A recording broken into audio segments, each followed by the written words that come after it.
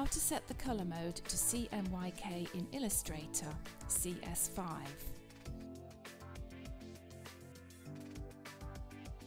When you open a new document, you can select the colour mode under the Advanced tab.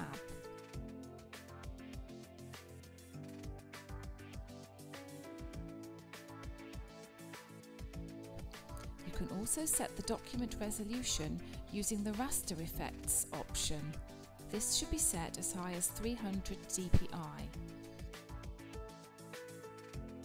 Colour mode can also be changed under the File menu.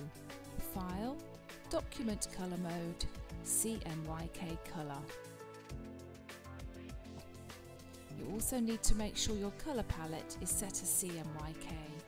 This can be done in the Colours palette.